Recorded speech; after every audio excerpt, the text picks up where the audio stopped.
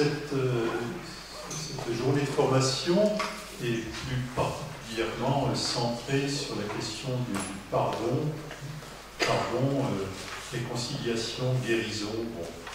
Les mots qui sont en même temps bien connus et qui quelquefois sont méconnus. Je ne sais pas toujours comment les interpréter et, surtout euh, quand on a à le vivre, dans un sens ou l'autre d'ailleurs, parce que justement, ce n'est pas des mots uniquement à l'usage des autres, euh, c'est une, autre histoire.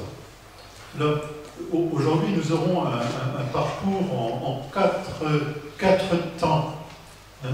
Euh, le premier temps sera un, témoignage suivi d'un échange, hein, d'un débat, euh, débat. Pas vraiment un débat, parce que ça ne prête pas à débat, mais ça, ça prête à échange, en tout cas. Euh, autour d'un témoignage hein, sur la question du pardon. Euh, je n'anticipe pas, je ne sais pas s'il y a eu ou pas pardon. En tout cas, c'est sûr que la question du pardon s'est posée, dans un contexte bien, bien difficile. Euh, je pose un deuxième temps hein, qui lui sera euh, consacré plutôt à un parcours euh, biblique à partir d'une euh, vidéo de, donc de Stéphane Maubeuf, que certains ont déjà pu entendre, exagète à l'Institut catholique de Paris, et qui nous fera faire un parcours biblique sur cette thématique. Il y aura le, le déjeuner, naturellement, en début d'après-midi un travail davantage sur la dimension psychologique du pardon, qui vient un travail. C'est-à-dire que là, euh, on vous donnera des, documents, et puis j'y reviendrai, et à partir de ces documents, bien que vous pourrez lire et échanger. Un échange en petits groupes. L'échange en petits groupes facilite la digestion. C'est recommandé, alors que les exposés, euh, je dirais, magistraux, facilite aussi la digestion, mais trop bien. Voilà. Et euh, en, dernière partie, je, me déguiserai en, théologien pour euh, vous, parler effectivement de la, dimension un petit peu euh, philosophique, si on veut, et théologique du pardon. Avec peut-être une question, y a-t-il en Dieu même du pardon? Donc pas savoir si Dieu nous pardonne, mais est-ce que Dieu n'aurait pas des fois des choses à se pardonner? C'est une, question. Bon, nous verrons la réponse. En tout cas, la mienne.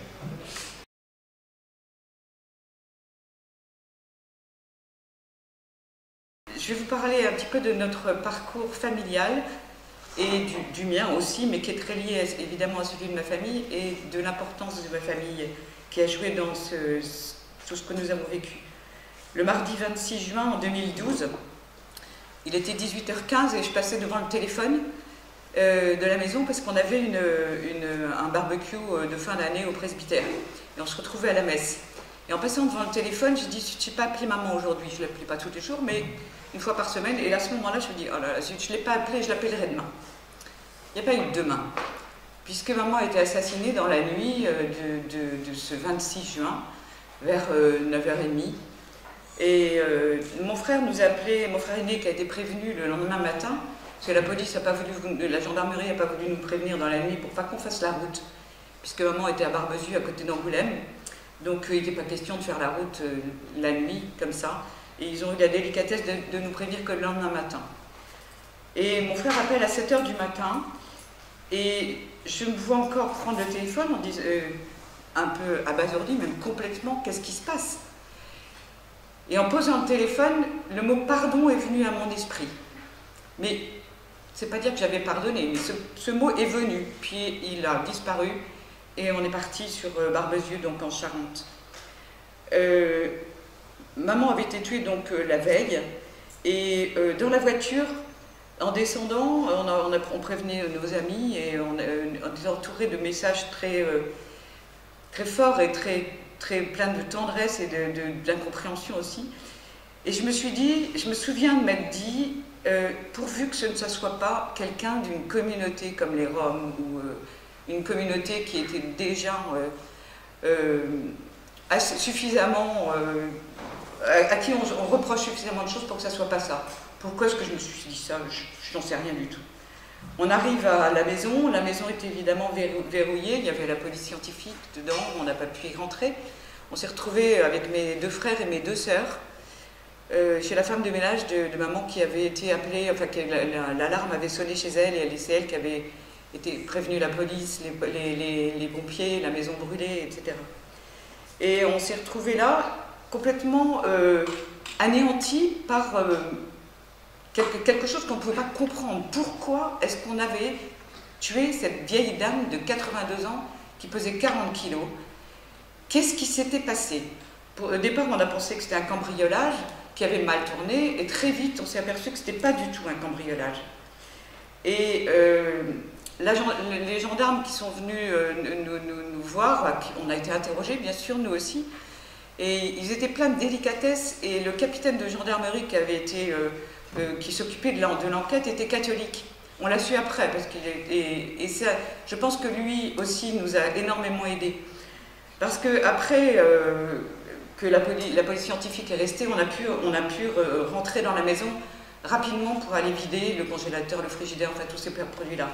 ce gendarme était avec nous et euh, on, a pu pénétrer dans la maison où le, corps de maman n'était plus bien sûr, mais voir toutes les traces, tout le sang de maman qui était là encore.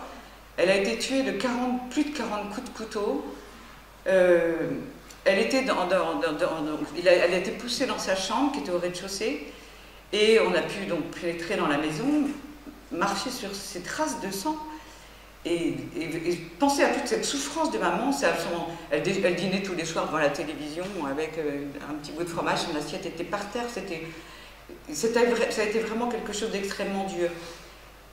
Et on a appris, par la suite, ça a été un petit peu long, toute l'enquête évidemment, que, euh, que, maman avait été donc euh, massacrée dans sa, dans sa chambre et qu'elle avait, quand même eu la, force de sortir de sa chambre pour, euh, sortir dans le, jardin. Et elle est morte devant une statue de la Sainte Vierge qu'on lui avait offert quelques années auparavant, qui était là. Elle était morte sur un banc de pierre sur lequel on s'asseyait tout le temps pour prendre le café ou l'apéro. Et, et elle est morte là. Et on s'est retrouvé devant cet endroit-là, devant la Sainte Vierge, en, étant persuadé que maman avait prié pour nous devant cette statue qu'on lui avait offerte et prié pour son agresseur aussi. C'était pas possible autrement. On, a été quand même rempli assez vite de cette certitude, d'abord que maman était au ciel, qu'elle avait retrouvé enfin son mari chéri et notre petit frère, et qu'elle était bien. Ça, n'a pas fait de pli, ça, et ça a été un soulagement énorme. Et euh, on a pu récupérer le corps de maman assez vite, et son enterrement a eu lieu le samedi, donc elle était morte le, mardi. Et le vendredi, on était chez une amie qui nous accueillait, et une de mes belles-sœurs qui avait été particulièrement casse-pied avec nous, mes parents et tout, est venue me voir dans le jardin, elle avait les larmes aux yeux, elle m'a dit, je sais que j'ai été odieuse, je te demande pardon. C'était le premier des pardons donnés. Ça a été un moment, je n'oublierai jamais, je l'ai prise dans mes bras, on s'est pris dans les bras, on a pleuré ensemble. Et je pense que ce pardon demandé a ouvert tous les autres pardons qu'on a eu à donner.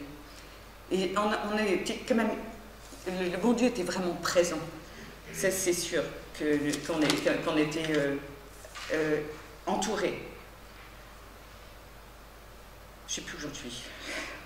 Euh, on s'est retrouvés, donc, tous les enfants et les petits-enfants, maman 27 petits-enfants, donc on s'est retrouvés tous ensemble pour euh, la veiller, la, veille de son enterrement, le samedi. Et euh, ça a été un, moment particulièrement beau aussi, où tout le monde était là. Et dans une famille, tout le monde n'est pas forcément d'accord, mais là, il y avait une espèce de puissance de prière ensemble qui a, été très forte. On l'a veillé toute la nuit. Et le lendemain, euh, maman a été enterrée donc à Barbezieux. Plein d'amis sont venus et c'était très réconfortant et très fort. Elle a été inhumée après dans un cimetière ailleurs. Et le lendemain, on est revenu à la messe à Barbezieux et, euh, et en revenant de la communion, on se demandait quand même comment on allait faire comment on allait faire, qui c'était, pourquoi, comment, euh, qu'est-ce qui s'était vraiment passé? Et en, revenant de la communion, je pense que vraiment je disais Jésus, Jésus, je ne suis pas très bavarde quand je reviens de la communion, et vraiment, mais l'essayer de lui déposer tout ça, et j'ai cette parole, ma grâce te suffit.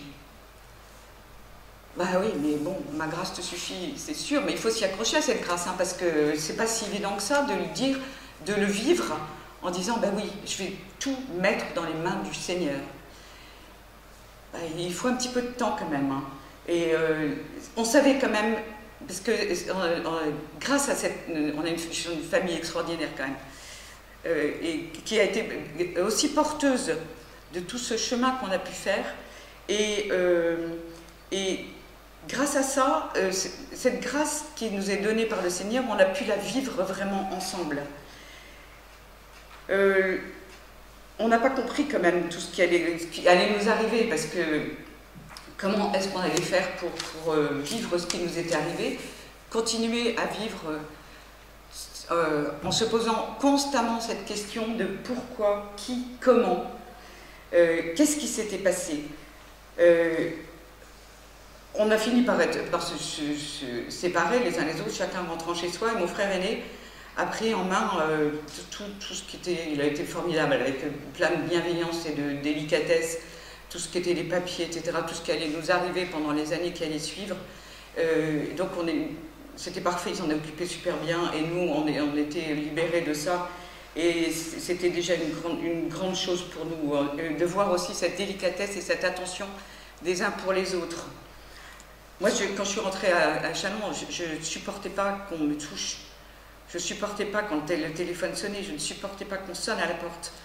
On se renferme complètement et c'était un effort colossal que de sortir. Vraiment un énorme effort. Et c'était extrêmement difficile d'ouvrir la porte. Et il y a quand même quelque chose, un moment qui a été extraordinaire, c'est qu'on a une amie euh, africaine qui est arrivée un jour avec une énorme corbeille de fruits de douceur. Et elle est juste, elle est juste rentrée, elle juste m'a dit, en Afrique, quand on vit quelque chose de très dur, on apporte quelque chose de doux. Et vous ne pouvez pas savoir comme ce geste qui a été, quelque chose qui a ouvert, mais ça m'a rempli d'une paix extraordinaire. C'était pas grand-chose, c'était énorme, vraiment énorme. Et je pense que c'est un geste qu'on devrait nous prendre aux Africains parce que c'est tellement beau que, ça, remplace toutes les paroles, ça remplace tout ce qu'on peut dire. Il n'y a pas de mots pour dire quelque chose. Quand on, est en, compatit à la, souffrance de quelqu'un, les, les, mots sont jamais les bons. On, est toujours démuni devant ce qu'on veut dire. Seuls, pendant ce, temps-là d'attente de, de, de, trouver l'assassin de maman, euh, on était, moi j'ai vraiment vécu avec mes frères et sœurs.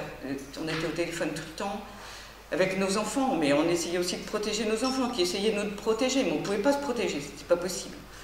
Et ce, lien avec mes frères et sœurs, avec mes sœurs en particulier, parce qu'on est des filles, voilà, fait que depuis dix ans maintenant, euh, ces liens nous ont rapprochés d'une façon considérable, et c'est les seuls avec qui je peux parler, être en, complètement en vérité. Quand ça ne va pas, on s'appelle, on, se dit comment on est, sans aucune arrière-pensée, sans aucune, sans aucune pudeur, parce qu'on sait qu'en face, on va être écouté, voilà, comme ça.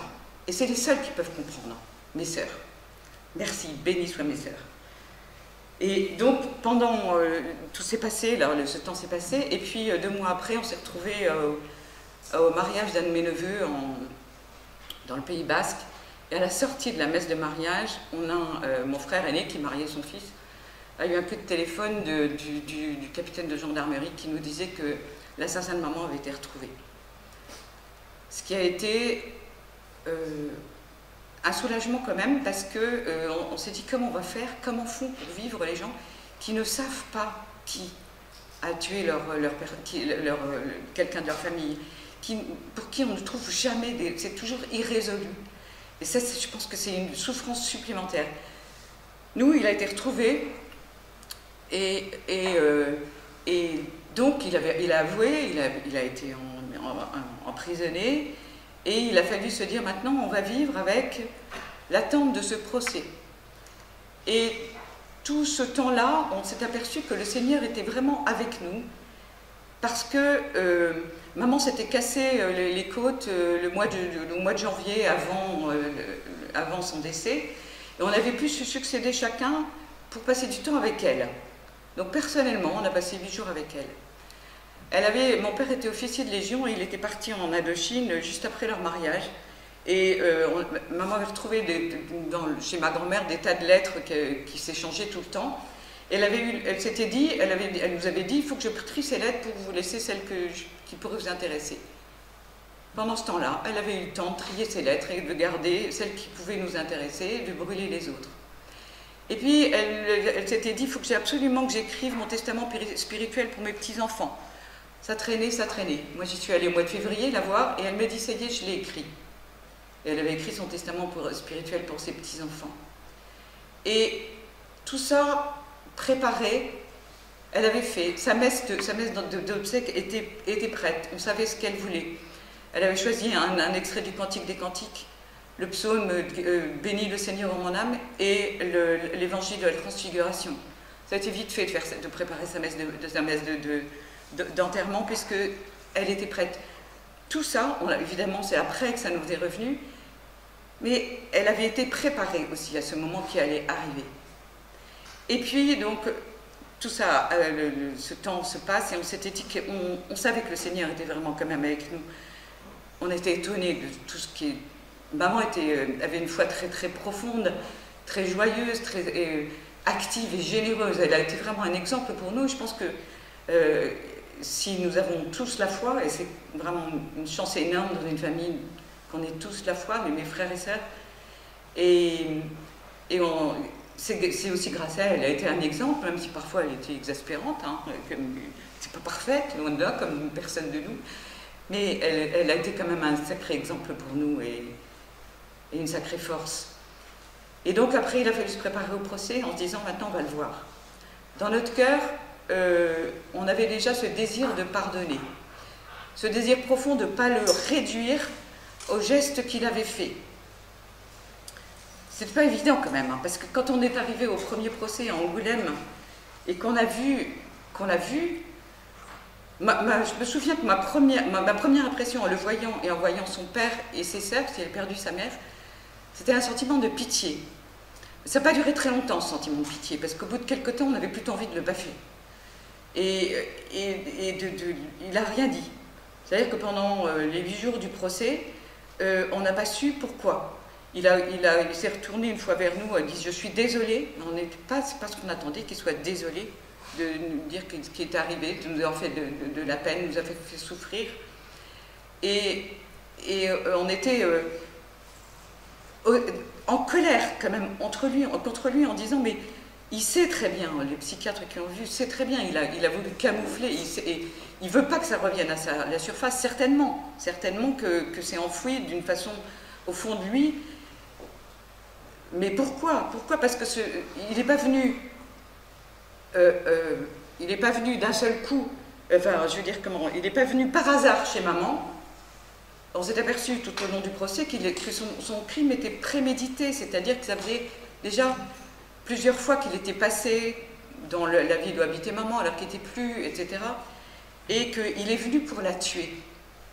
Vraiment. Il était venu une première fois, il est revenu une deuxième fois dans la soirée. Et là aussi, le Seigneur est quand même incroyable parce que maman était assez distraite, c'est la distraction d'un gendarme de, de Barbezieux qui a permis qu'on le retrouve. Ce gendarme est un gendarme mobile, il avait oublié ses clés chez lui, il est parti chercher ses clés, et au moment où il revenait à la gendarmerie, il est passé au coin de la maison, et il a vu un monsieur sortir de, la maison, de dos, et sur euh, son, pull, il y avait marqué gendarmerie. Donc son, son œil a été, euh, évidemment marqué par ce gendarme, pour qu'il y ait marqué gendarmerie sur ce, ce pull-là. Et c'est grâce à ça qu'on a retrouvé ce garçon. Et euh, c'était un ancien gendarme auxiliaire de Barbezieux qui serait, qui serait venu une fois à la maison, etc., qui soi-disant considérait maman comme sa grand-mère, qui venait la voir de temps en temps, mais on n'en sait rien parce qu'elle nous en avait jamais parlé. Donc est-ce que c'est vrai? Peut-être, on ne sait pas. Mais bref, il a prémédité son crime et il est venu la tuer. Pourquoi est-ce qu'on vient tuer une vieille dame de 82 ans, de 82 ans qui n'a rien fait? Est-ce que c'était un crime parce qu'il voulait vraiment euh, faire un crime parfait? Il s'en est fallu de 10 secondes. Si ce, ces gendarmes n'étaient pas passés là, on n'aurait jamais retrouvé, certainement. Qu'est-ce qui s'est passé? Et du coup, nous, on lui en voulait quand même. Le, procès, ça a été quelque chose d'épouvantable parce que euh, on, était en colère contre lui. Pourquoi? Mais pourquoi? On ne le sait pas pourquoi. Et on ne le saura sans doute jamais. Il faut qu'on accepte de jamais le connaître, de jamais savoir la vérité. Et nos enfants aussi, c'est très dur pour nos enfants, c'était dur pour nous. Mais nos, enfants aimaient énormément leur grand-mère et ils, venaient la voir très régulièrement. Elle était, c'était leur seule grand-mère pour pratiquement tous, les petits-enfants. Et euh, c'était une référence pour eux. Ils l'appelaient souvent. soit ils l'appelaient pour euh, juste avoir ses nouvelles, passer quelques temps avec elle, soit lui demander un peu de sous parce qu'ils étaient fauchés. Enfin, bref, comme les petits-enfants font avec leurs grands-parents. Et elle était toujours, elle est toujours une parole de vérité et d'attention, quelle que soit euh, leur situation de vie. Et pour nos enfants, ça a été euh, aussi des moments extrêmement durs. Et il y a un moment, un office qui se lève pendant le procès et qui, a dit, qui a dit, mais nous, on veut savoir la vérité, en s'adressant à Mathieu Bélin. Et en sortant, de, en sortant de, du coup, il est sorti du, tribunal, et il est passé à côté du père de ce garçon qui était là et qui l'a traité de connard. Il a fallu, ça a failli euh, terminer en pugilat parce que nos autres enfants, heureusement, tous étaient attentifs et ça s'est calmé. Mon fils est, sorti, les autres sont sortis, il y a eu un arrêt. Mais euh, je pense que la pitié qu'on a eu, que j'ai ressentie moi pour cette famille, elle était réelle parce que je pense que eux étaient encore plus euh, malheureux. Ils ne savaient pas comment faire. Je pense que ce monsieur, il, était, ce qu'il a dit, c'est dramatique parce que c'est comme, franchement, il faut peut-être remettre les choses à leur place. Hein, mais euh, lui était débordé aussi, mais débordé complètement par euh, ce qu'avait fait son fils. Du coup, là aussi, il y a eu un pardon à donner à, lui, parce qu'on dit, euh, de comprendre pourquoi il a fait ça et de lui dire, bon, il il n'est pas responsable, il n'est pas, il, ne se rend pas compte, il ne sait pas ce qu'il a dit. Et je pense que c'est vrai. Et, du coup, on, est parti et ça s'est terminé le procès par sa condamnation et on s'est dit chouette, c'est fini maintenant il a fait appel le, dernier jour, il fallait, donc il a fallu recommencer pour deux ans. Et, pendant tous ces deux ans-là, euh, c'était toujours ce sentiment quand même de pourquoi on, ne comprend pas qu'est-ce qui s'est passé. Et euh, on, priait pour lui, et à chaque fois que on, prie, je prie en tout, toujours pour lui d'ailleurs, parce qu'à chaque fois que je dis Notre Père, ou pratiquement à chaque fois, quand je dis pardonnez-nous nos offenses comme nous pardonnons, son, visage apparaît devant mes yeux. Et, mais réellement, et je pense que ce pardon, il est, il est donné vraiment et qui sera à redonner. Il est, je suis persuadée qu'il n'est pas donné définitivement, que si je ne veux pas le, lui redonner, je, pense qu'un jour, peut-être que je vais le haïr. Et c'est grâce à, vraiment à la présence de Dieu en nous et qui est là. Sa grâce me suffit, oui, sa grâce me suffit. Pour que je sois, que grâce à lui, euh, je sois capable de dire, je, prie pour lui, je souhaite du fond du cœur, vraiment du fond du cœur, et on est tous pareils, qui rencontre Jésus. Vraiment, que au fond de sa prison, il est, il est en prison pour, euh, pour, 30 ans, il est sans doute encore euh, au moins 10 ans, qu'il qui, soit touché par la grâce de Dieu, qu'il le rencontre et qu'il puisse se, vraiment se convertir, se retourner vers lui. C'est vrai, ça serait vraiment, je pense, une grande joie, même si c'est toujours une grande souffrance. Même si, euh, je, disais à un office euh, chez qui nous sommes allés il n'y a pas très longtemps que j'allais parler de ça, et, euh, et en disant, je ne sais pas si j'ai raison d'ailleurs, je ne suis pas sûre. Et lui, on prolongé la soirée tous les deux, il s'est mis à pleurer. Et il m'a dit, je, ne peux pas, tous les soirs, il y a son visage qui vient en deuxième procès. Euh, je me suis retournée au le dernier moment quand c'était fini, et nos, yeux se sont rencontrés, et je vois encore son visage et qui me hante. C'est des blessures, ces blessures-là, je ne suis pas sûre qu'elles guérissent complètement. Moi, je me suis rendu compte en écrivant, en pensant à ça, d'abord que j'étais incapable de le relire après et que les blessures qui sont faites, elles seront là. C'est comme on est comme un grand blessé euh, où en effet physiquement on peut paraître guéri, mais euh, ben non, il y en a toujours mal quelque part. Il y a toujours quelque chose qui ne va pas. On ne revient pas comme avant. Moi, je ne reviendrai jamais comme avant.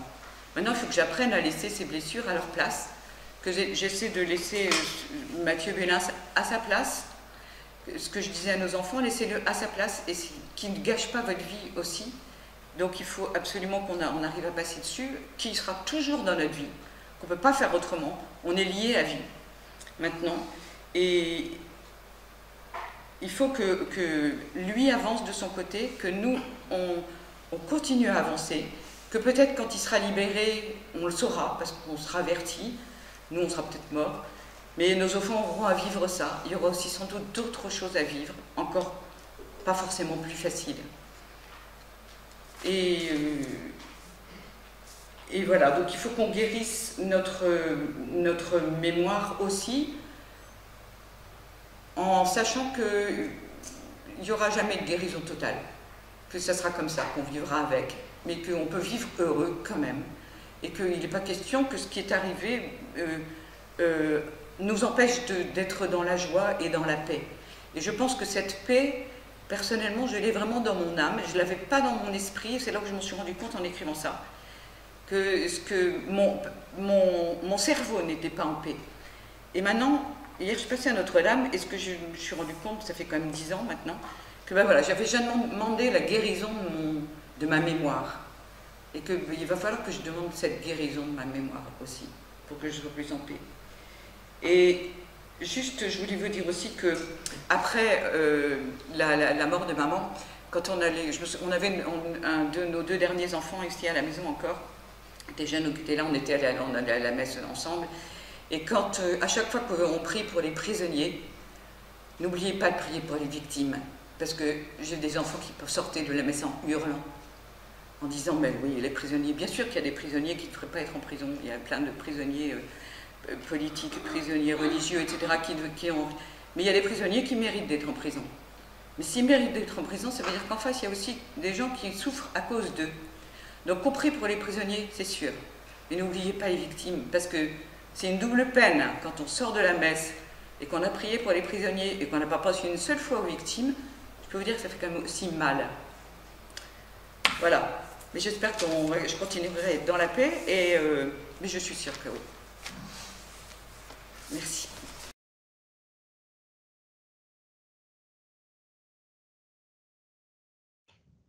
Bonjour, bonjour à tous. On m'a demandé de vous parler euh, du pardon. Et euh, c'était l'occasion pour moi de, réfléchir euh, à ce thème et puis surtout de, synthétiser plusieurs, réflexions qu'on peut faire à ce sujet, tout en vous proposant un parcours biblique euh, il faut effectivement faire une sorte de parcours biblique parce que pour bien comprendre euh, la notion, euh, il faut repartir de, l'Ancien Testament. C'est-à-dire, il faut commencer par prendre vraiment connaissance et essayer de comprendre la religion de Jésus, le judaïsme, avant d'entrer dans son interprétation du judaïsme, dans sa manière, la manière de Jésus de comprendre sa propre religion.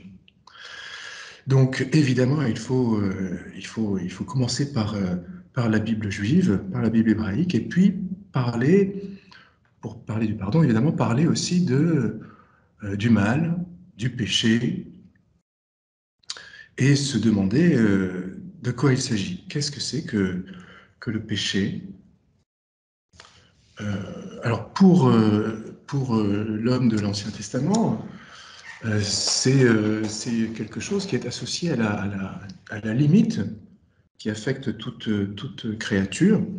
L'homme en, particulier, c'est associé à la faiblesse. Et de manière générale, c'est ce qui fait notre, c'est ce qui nous sépare de Dieu.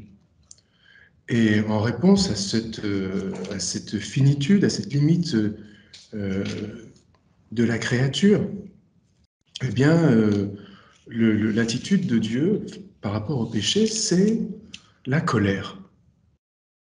C'est la colère. Ça ne veut rien dire d'autre que, en fait, l'incompatibilité entre, euh,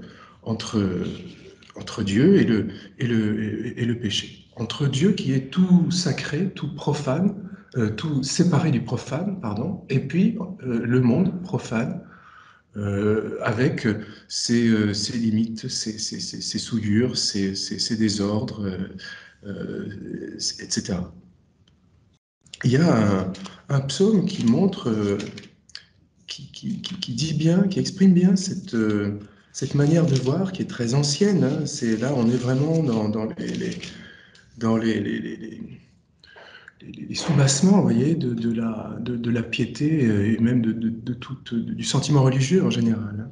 C'est le psaume 90 ou 89. Seigneur, tu as été pour nous un refuge d'âge en âge avant que les montagnes fussent créées, enfantées, la terre et le monde, de toujours à toujours, tu es Dieu. Tu fais revenir le mortel à la poussière en disant Revenez, fils d'Adam. Car mille ans sont à tes yeux comme le jour d'hier qui passe, comme une veille dans la nuit. Tu les submerges de sommeil, ils seront le matin comme l'herbe qui pousse. Le matin, elle fleurit et pousse, le soir, elle se flétrit et sèche. Par ta colère, nous sommes consumés. Par ta fureur épouvantés. Tu as mis nos torts devant toi, nos secrets sous l'éclat de ta face. Sous ton courroux, nos jours déclinent. Nous consommons nos années comme un soupir.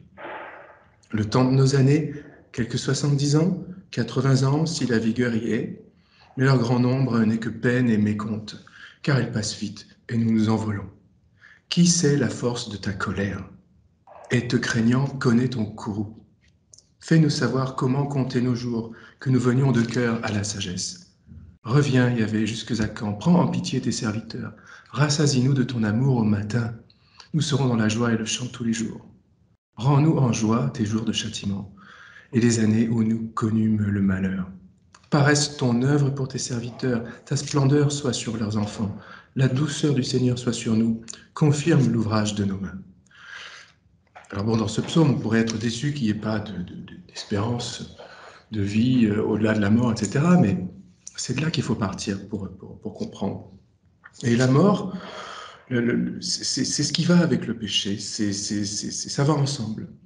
C'est euh, notre, notre différence avec, avec, euh, avec Dieu. Alors ça a une dimension morale, mais pas seulement. C'est aussi la faiblesse, euh, la maladie, tout ce que vous voulez. Tout ça, c'est mis ensemble. Pas nécessairement avec une, idée de causalité, vous voyez, comme si c'était le péché qui causait la mort, etc.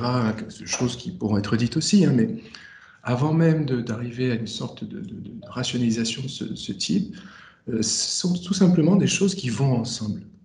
C'est les différentes facettes de la de l'être créature. Hein. Alors, face à ça, euh, Dieu est incompatible avec, avec, tout ça. Donc c'est la colère, comme le dit ce, psaume. Mais euh, évidemment, euh, il y a aussi une attitude qui est demandée à Dieu, qui est l'inverse de la colère, qui est plutôt la miséricorde. Et la créature ne manque pas d'arguments pour, pour réclamer de la part de Dieu sa miséricorde. Alors, un des plus beaux psaumes à ce sujet-là, euh, c'est le psaume 103 ou 102. Béni Yahvé mon âme, du fond de mon être son saint nom. Béni Yahvé mon âme, n'oublie aucun de ses bienfaits.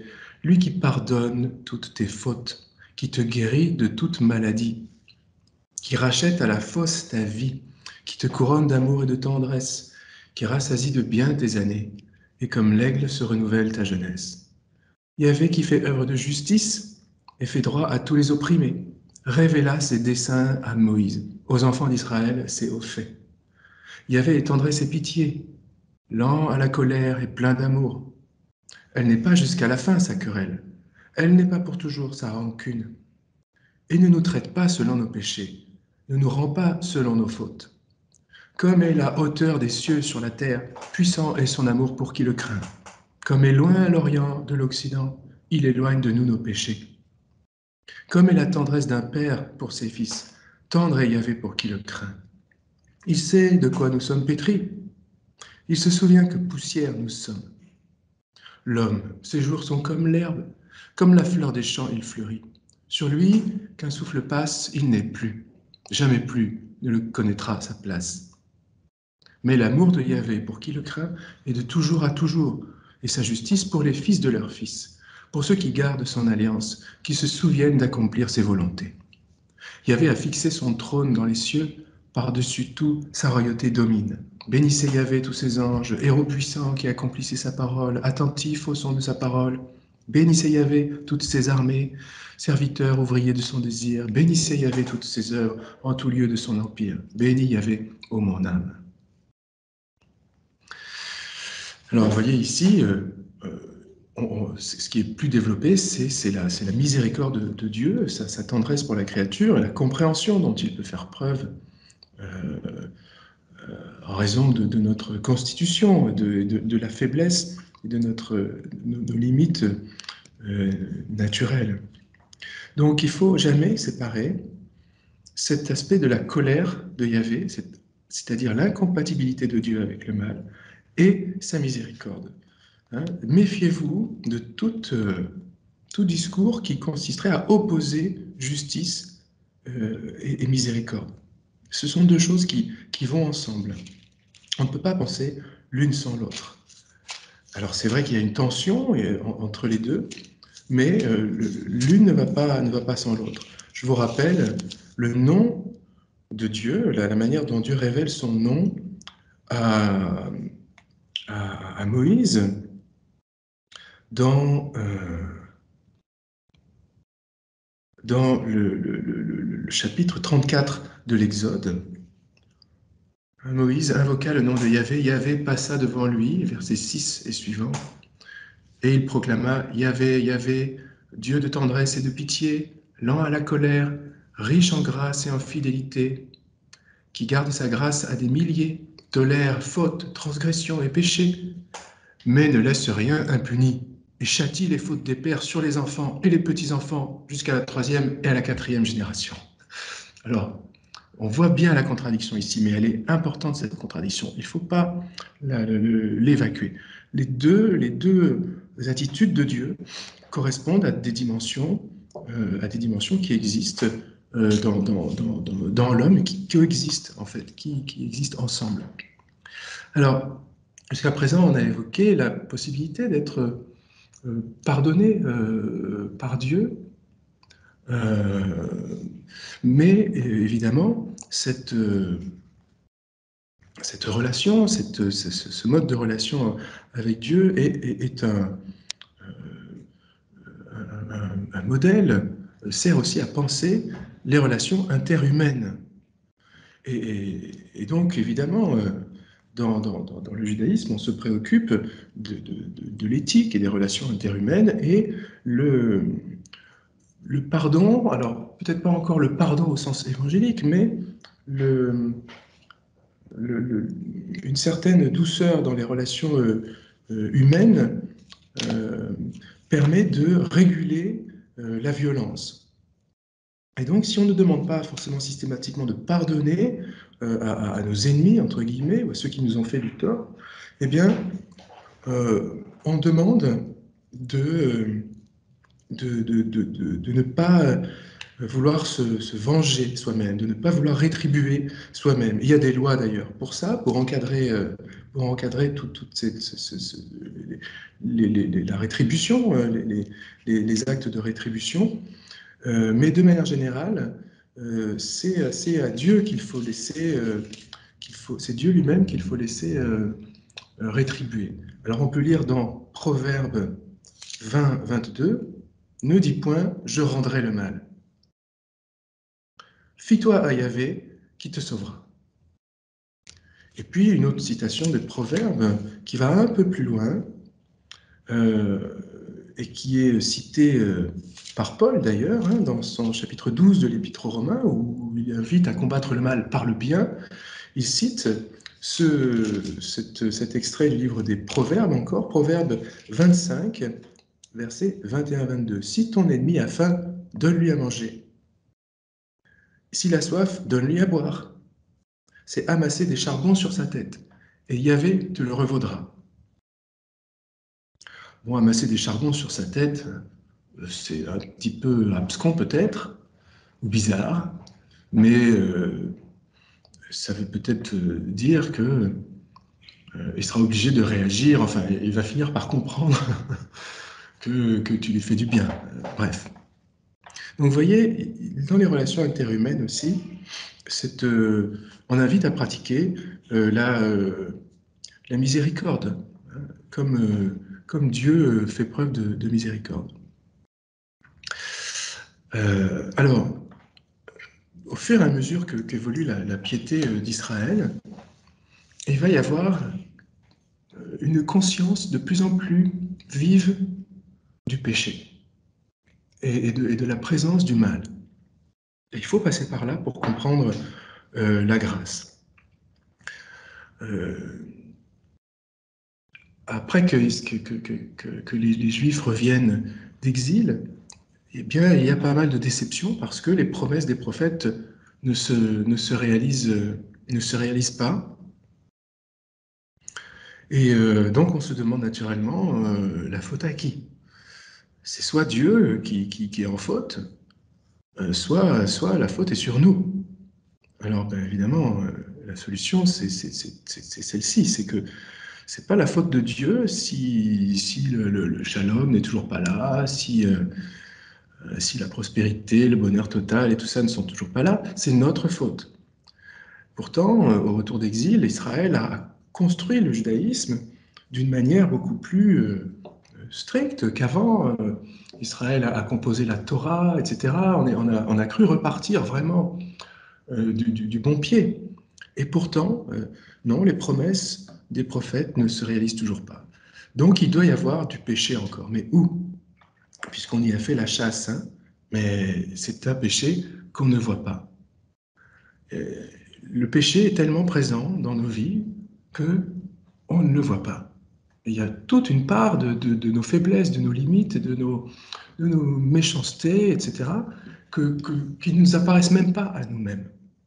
Là, il y a quelque chose, il y a une finesse psychologique quand même là-dedans, même s'il ne faut pas évidemment que ça devienne une obsession, mais il y a une finesse psychologique. Songez quand même que nos plus gros défauts, en général, c'est ceux que nous-mêmes ne nous voyons pas. Et c'est ceux que nous ne voyons pas qu'on fait subir le plus aux autres. Euh, donc, euh, on pêche, parfois volontairement, mais on pêche par ignorance, euh, beaucoup, hein, certainement, sans s'en apercevoir.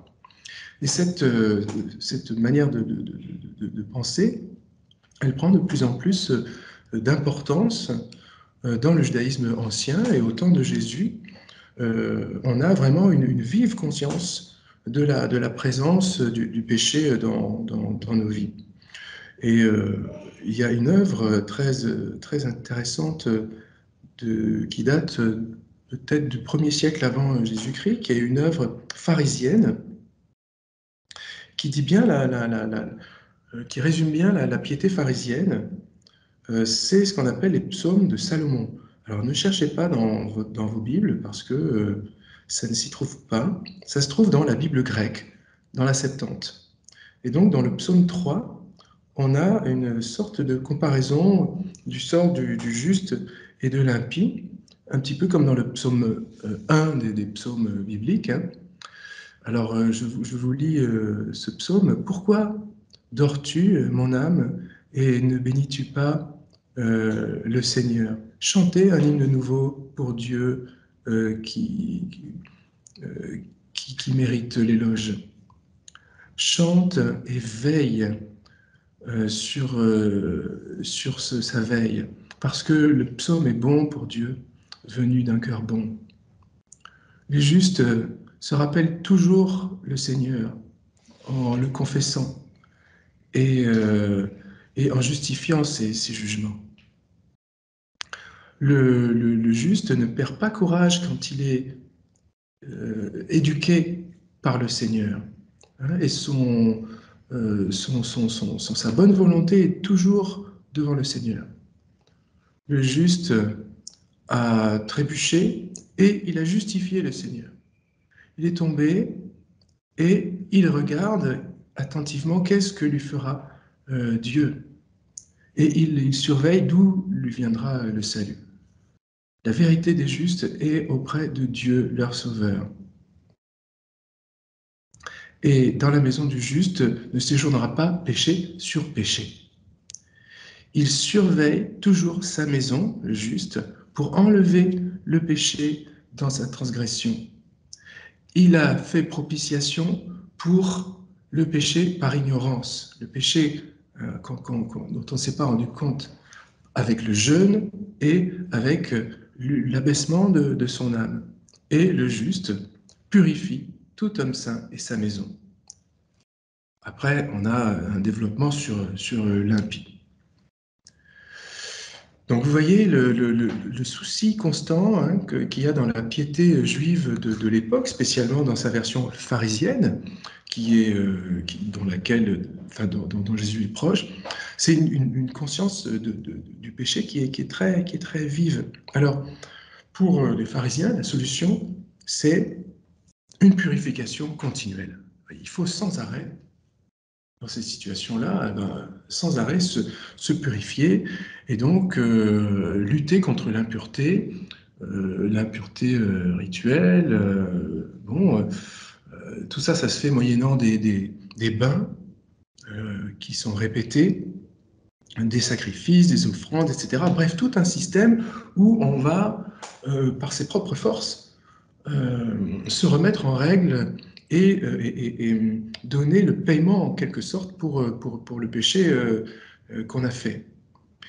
Alors, ça part, vous voyez, d'un bon, sentiment, mais le problème, c'est que cette obsession de, la pureté eh engendre des, perversions.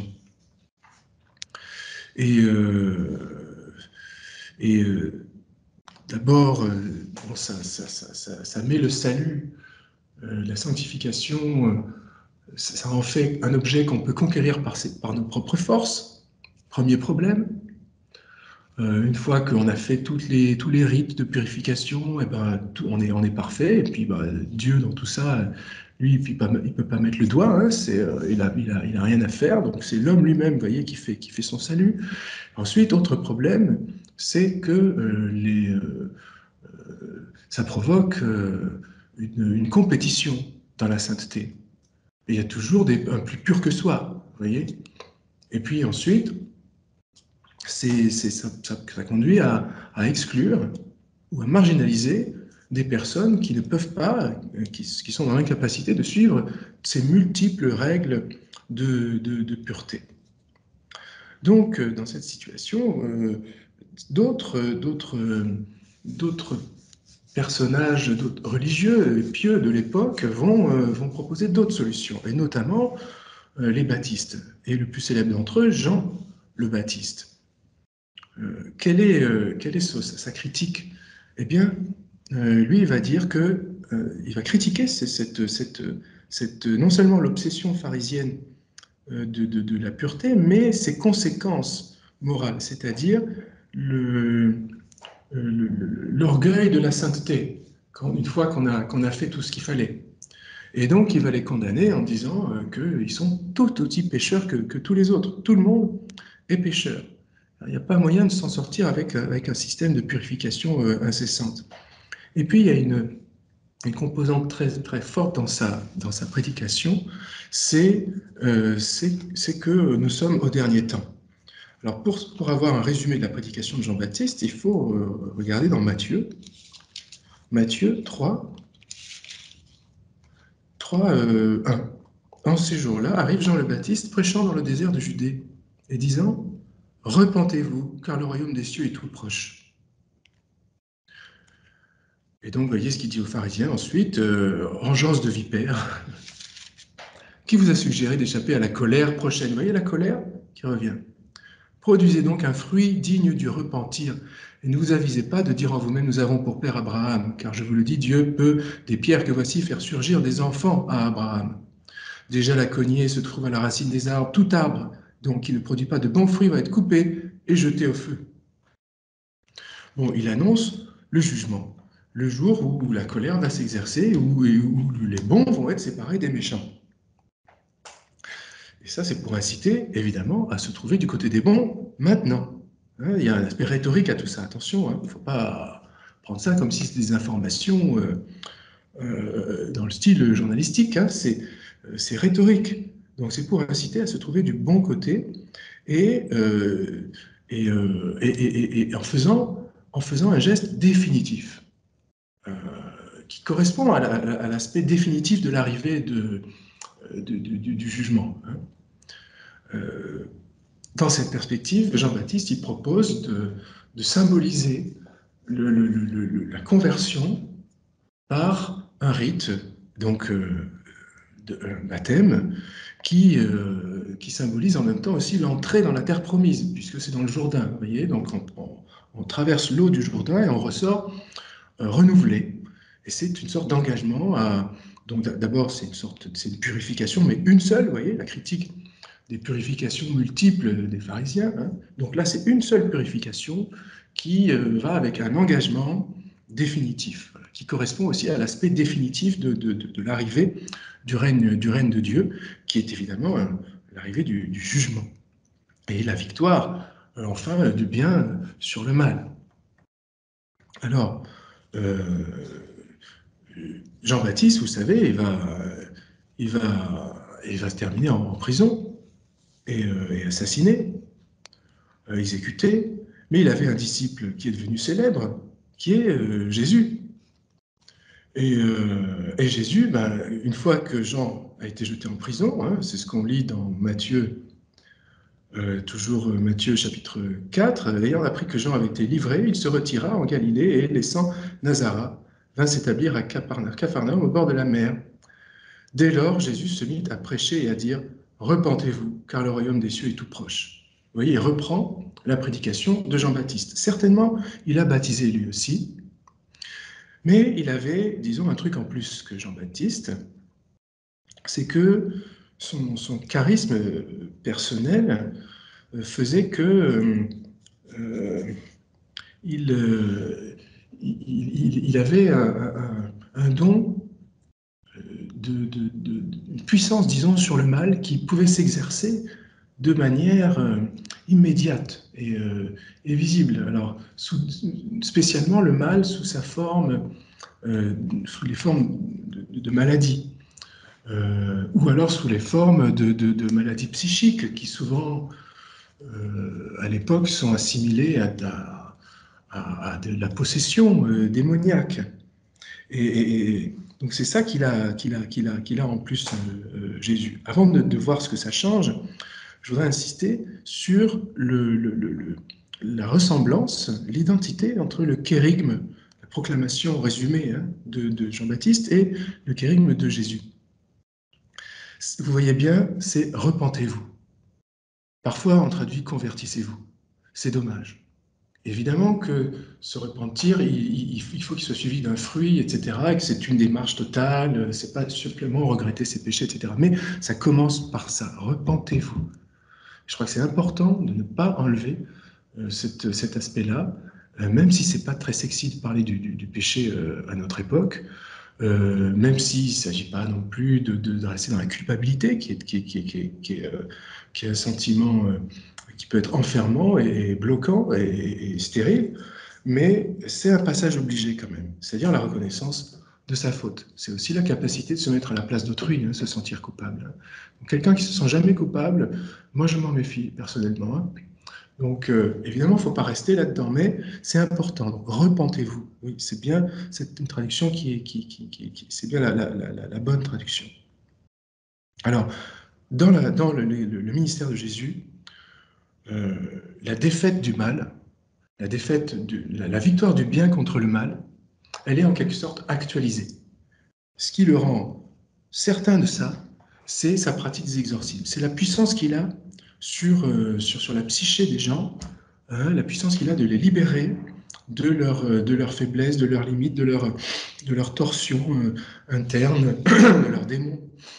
Euh, c'est la, la, la, séduction qu'il arrive à opérer sur son auditoire qui donne envie aux gens de, de, de oui, de se convertir, etc. Qui, et, et, euh, c'est aussi dans sa pratique le, les repas avec, euh, avec les pêcheurs. C'est une manière d'actualiser le, le, jugement et le pardon qui est accordé aux pêcheurs. Donc, euh, bien, il mange avec, avec les gens, euh, en général, que, les pharisiens considèrent comme, comme des pécheurs. Et du coup, accepter la prédication de Jésus, croire sa parole, reconnaître qu'il a bien un rôle définitif euh, dans, dans, dans, dans l'histoire du salut, reconnaître, reconnaître comme le messager authentique et dernier, définitif de, l'arrivée du règne, eh bien, c'est être pardonné. Il demande, il dit, repentez-vous Jésus. donc là, si vous vous repentez, vous êtes pardonné, vous êtes purifié, vous êtes guéri, vous êtes sauvé, c'est tout ça. Alors, euh, là, je peux, je, peux prendre, je peux prendre Marc pour, euh, pour préciser un petit peu les choses. Marc, il, rapporte le charisme de Jésus dès le chapitre 1, au verset 14 et 15. Le temps est accompli, le royaume de Dieu est tout proche, repentez-vous et croyez à l'évangile. Marc ne va dire qu'une seule fois le kérigme de Jésus, hein, à cet endroit-là.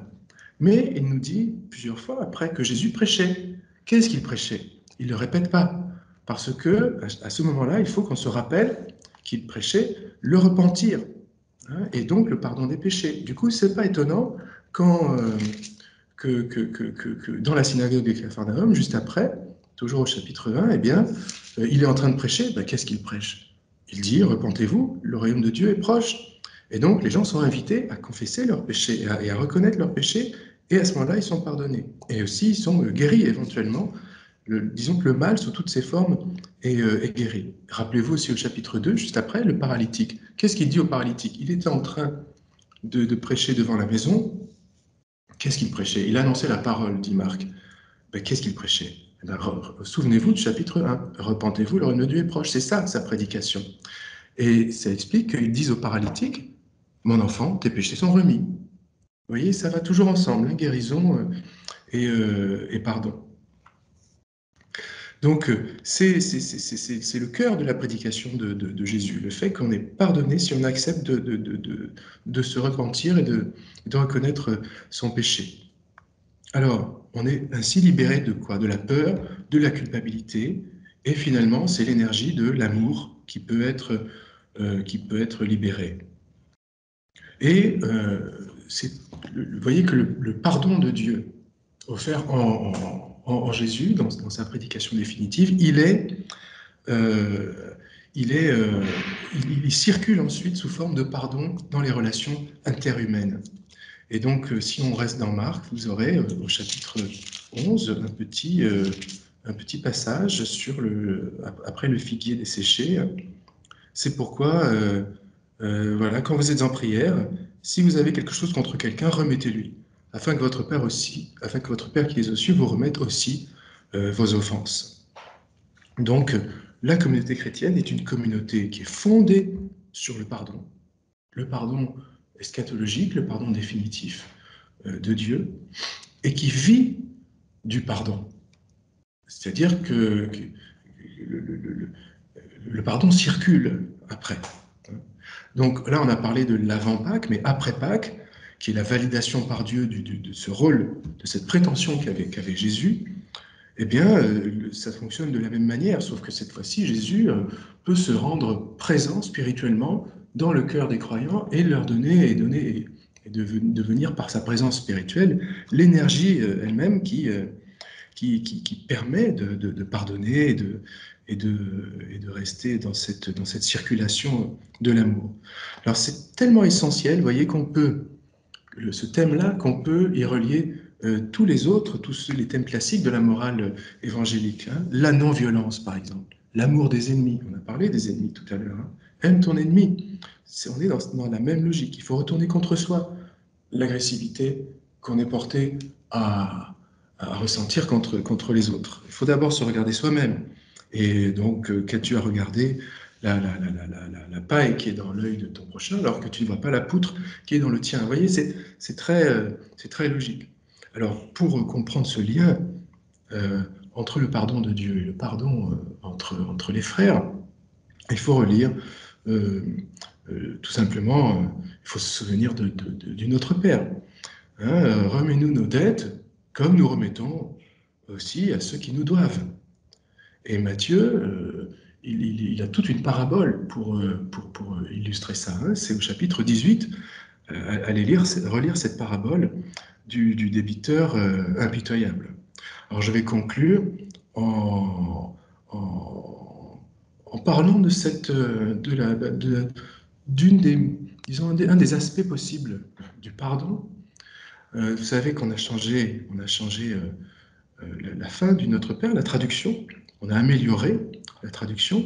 On aurait pu aussi euh, améliorer la, traduction de la demande de pardon. Hein. Parce que on dit pardonne-nous nos offenses comme nous pardonnons aussi euh, à ceux qui nous ont offensés. Et là, qu'est-ce qu'on a fait? On a enlevé la métaphore. Comme si on pouvait changer la métaphore, qu'elle n'était pas, euh, pas essentielle. Alors que pourtant, le texte original, qu'est-ce qu'il dit? Remets-nous nos dettes comme nous remettons à ceux qui nous doivent, comme nous remettons à ceux qui nous doivent. En latin, on est tous, enfin, on était habitués à ça. Hein euh, dimite nobis debita nostra, sicut et nos dimitimus debitoribus nostris. Comme nous remettons à nos débiteurs. La remise de dette. Vous voyez C'est pas une simple métaphore qu'on peut, qu'on peut envoyer valser comme ça euh, et puis proposer la traduction avec des mots, euh, les mots pardon et offense, etc. Non, on comprend très bien qu'il s'agit du pardon et des offenses.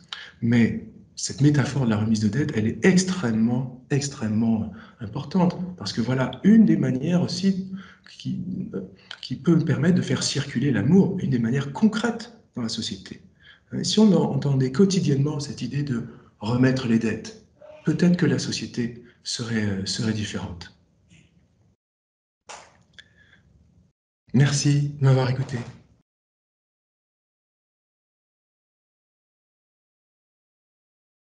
Donc je me, suis, euh, comme ça, personnellement, euh, attaché à, cette question du pardon et j'ai intitulé ça la, question infinie du pardon. Hein. Parce que, euh, d'une certaine façon, c'est une espèce de, nœud hein, complètement inexplicable quand on veut y réfléchir. Et c'est bien des, questions qui se posent d'ailleurs dans l'Évangile, comme l'Évangile est intemporel, même s'il a été écrit dans un lieu et un temps, c'est des questions presque éternelles. Hein, faut-il pardonner? Euh, Combien de fois est-ce que je dois pardonner? Est-ce qu'on peut tout pardonner? Est-ce que le pardon c'est l'oubli? Quel est le rapport entre le pardon et la justice? Vous voyez, j'ai écrit ça sans avoir entendu ce qu'on a échangé aujourd'hui. Euh, si on se pose ces questions, c'est parce qu'il n'y euh, a, a pas Enfin, quelle, que soit ma réponse, je peux répondre n'importe quoi, ça n'a pas beaucoup d'importance. La réponse ne sera de toute façon pas satisfaisante. Soit parce que ça ne correspond pas à la réalité, c'est facile de parler, mais est-ce que ça peut se passer comme ça hein? Soit parce qu'on a des difficultés sur le principe même. Peut-on tout pardonner hein? Et on se rend bien compte qu'il est impossible de ne jamais pardonner, parce que sinon c'est c'est la mort, et qu'il est impossible de toujours pardonner. Et alors, où est-ce qu'on peut mettre le, curseur? En tout cas, ce qui est évident, c'est que le, pardon est, loin d'être toujours spontané, hein, et que finalement, si on n'avait pas craint des conséquences, ou si on n'était pas pétri de cette culture chrétienne, où on a conscience quand même que Dieu nous appelle à ça, Hein, ce qu'on appelle, dans le langage un peu théologien, l'instance transcendante. Est-ce qu'on pardonne hein euh, Dans une société où, justement la, loi divine, la, notion d'un Dieu qui nous appelle au pardon, euh, c'est pas très intégré, euh, on peut constater en tout cas que on passe de plus en plus de temps dans les tribunaux. puisque ça va être la justice, ça va être l'État qui doit ou pas accorder le pardon et qui en, qui en fixe les conditions. Hein. Mais du coup, puisque c'est à l'État, puisque c'est à la justice de faire son boulot, euh, moi je suis en vacances. Comme individu, j'ai plus de raison d'octroyer mon pardon à la police de faire son boulot. Hein. et, en même temps, on voudrait, enfin si vous lisez les journaux comme moi, vous voyez que de plus en plus, on voudrait que les coupables se repentent faut absolument au tribunal, si, le coupable ne, pleure pas, s'il n'a pas l'air de regretter, euh, voilà, il mérite au moins triple peine. Hein. Or, je me dis que le repentir, euh, il est quelquefois un petit peu difficile à mettre en lien avec la, euh, la justice. Que si je paye vois pas pourquoi en plus je demanderai pardon, excusez-moi, mais.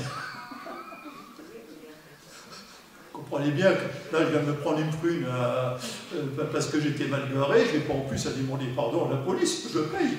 C'est tout, fichez-moi la paix. Non mais vous voyez, vous voyez comment ça marche. Hein euh, surtout que, en plus, le coupable, il n'a pas forcément conscience d'être coupable plus, je me suis garé deux minutes parce qu'on n'arrivait pas à se garer à cause des travaux. C'est de leur faute et en plus je paye. il faudrait que je demande pardon alors que ça serait eux de s'excuser. Ben mais c'est-à-dire que, ben oui, mais voyez l'exemple que je prends et qui est très frais, euh, il marche dans, dans, toutes les cases du jeu.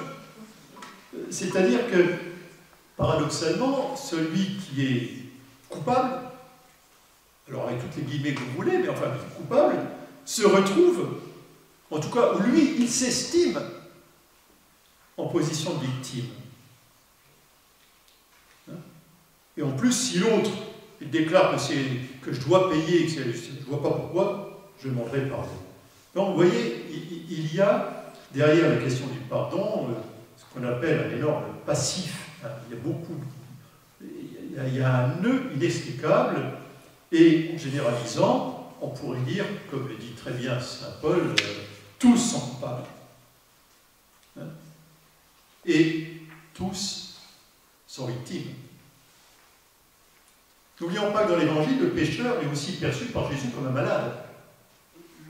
Dire que le, possédé, il est antiquinant le possédé, mais en même temps, il est victime. Donc, vous voyez, le schéma le schéma un petit peu simple qu'on aimerait bien, c'est-à-dire, voilà, au départ tout va bien, c'est le paradis terrestre, euh, après il y a un problème, ben, ensuite donc euh, le coupable il est pris ou il n'est pas pris mais il demande pardon, on pardonne, euh, et puis ensuite ça y est, on est revenu au point initial, il n'y a pas de problème, on est dans le paradis terrestre et puis tout va bien. Hein, ça serait bien, sauf que ça n'existe pas. C'est juste le détail. Hein. Et, c'est bien pour ça qu'il va falloir, si on veut, euh, arrêter ce circuit infernal où celui que moi je vois comme coupable se voit comme victime. Hein, euh, il, faut, il faut les juges, justement. C'est bien ce qu'on demande à Dieu d'ailleurs. Hein. Dieu est perçu comme celui qui rend la justice. Hein. Il faut un juge suprême incontestable, parce que si on est livré à nous-mêmes et à nos sentiments, ben, sauf exception, il n'y a presque jamais de pardon réel possible, ni envers l'autre, ni envers soi-même. Parce que je rappelle que de temps en temps, euh, on en veut plus à soi-même qu'aux autres. Hein? Euh, et, donc, on est dans ce que j'appelle l'engrenage infernal, au sens strict, l'engrenage infernal de l'offense que je ressens, de la dette à faire payer à l'autre, crois que dans la foi chrétienne, euh, normalement dans la foi chrétienne, je m'en remets à Dieu. Comme le Christ, il s'en remet au Père finalement. Ils ont dit que je blasphémais, moi je crois faire ta volonté, je m'en remets à toi, Père. Donc, euh, la foi chrétienne s'en remet à Dieu dans l'espérance qu'il jugera définitivement. Hein C'est-à-dire qu'il va purifier dans ce jugement, rendre plus clair nos relations entre les pauvres pécheurs qu'on est Et je crois que ça, c'est certainement une des meilleures réponses euh, à notre soif euh, à la fois de justice et de pardon. Hein. en tout cas, euh, dans ma tête, hein, souvent, je dis que deux choses. D'abord, que le pardon, souvent, il est généralement associé à la faute. Pardon, faute.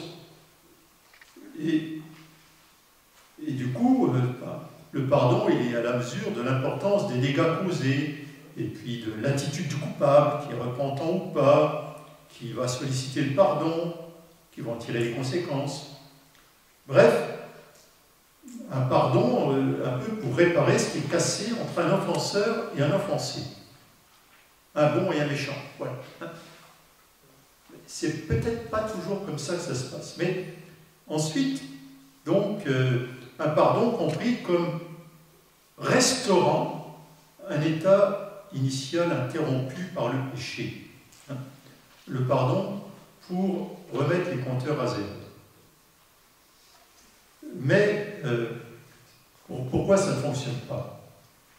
Ça ne fonctionne pas parce que l'humanité en général, et puis nos histoires personnelles à chacun, elles sont dans une, ce que j'appelle une ligne temporelle réversible. On a cassé le vase de Soissons. Il est cassé pour l'éternité. Et l'histoire, peut-être, a bougé un petit peu autour du vase de Soissons cassé, le Clovis, avec, etc. etc. C'est-à-dire que l'histoire est une succession de causes et d'effets, petits ou grands, et on ne peut pas revenir en arrière. On peut aller plus loin. On peut tirer les leçons du passé dans un sens ou dans un autre. Mais on ne peut pas revenir en arrière. On est dans un temps qui avance. Hein. on ne peut qu'aller de l'avant. On peut modifier les trajectoires. Ça, c'est important de le savoir. Mais on ne peut pas gommer le réel. Hein. on peut le relire, on peut l'analyser, on peut essayer d'en tirer des conséquences, mais là encore, on n'est pas tous doués pour tirer des conséquences. Si j'ai des problèmes avec des gens parce qu'il y, y, a 300 ans, nos peuples sont battus, Conséquence A, vous voyez bien qu'on aurait dû tous les tuer. Côté sens B, vous voyez bien qu'on aurait dû ne jamais se battre. Les deux conséquences sont des conséquences logiques.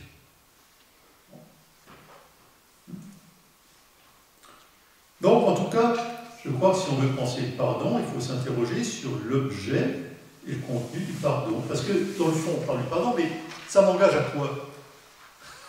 Finalement, pardonner engage à quoi? Hein? Alors, je me suis dit comme ça que euh, c'était peut-être du côté de, celui qui pardonne qu'il fallait chercher, euh, plutôt, plutôt que du côté de celui qui reçoit le pardon. D'ailleurs, si vous vous rappelez-vous notre Père, pardonne-nous nos offenses comme nous pardonnons, hein, comme nous remettons nos dettes, remets-nous nos dettes comme nous remettons, c'est-à-dire que, sous-entendu, un, moi, je remets les dettes, D'abord, donc côté de français, je remets les lettres. Ça y est, j'ai fait ce que je pouvais. Toi, ben, si tu pouvais faire pareil, ça m'arrangerait bien. Mais voyez, hein, ça, marche bien dans ce sens-là.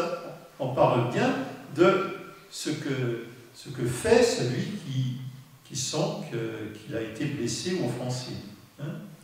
Et de toute façon, euh, un pardon sous condition, c'est-à-dire je te pardonnerai si, euh, n'est plus exactement dans la logique chrétienne euh, parce que c'est une transaction.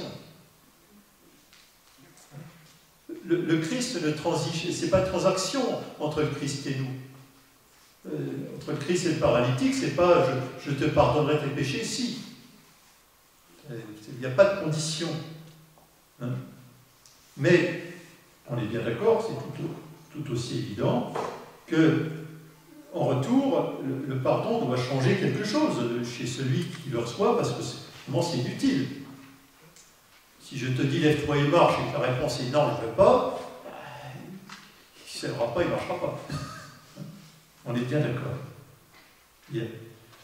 Donc, euh, je crois que le mouvement, la logique du pardon, euh, c'est pas simplement cette histoire de pouvoir restaurer ce qui a été cassé, de recoller les bases de Soissons, de, faire que Jeanne d'Arc n'aura pas été brûlée par les Anglais, c'est pas le problème. Hein. Euh, je crois que c'est de la modification interne, à l'intérieur de moi qui s'agit, pas simplement de la restauration d'une relation avec l'autre. Hein?